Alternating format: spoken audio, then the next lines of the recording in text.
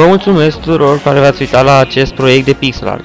La următorul pixel art aș vrea să fie cât mai multă lume ca o înfătură de fundal, iar pentru asta mă puteți contacta printr-un mesaj privat pe YouTube sau pe Skype sau oriunde am mai precizat eu în acele infovideo.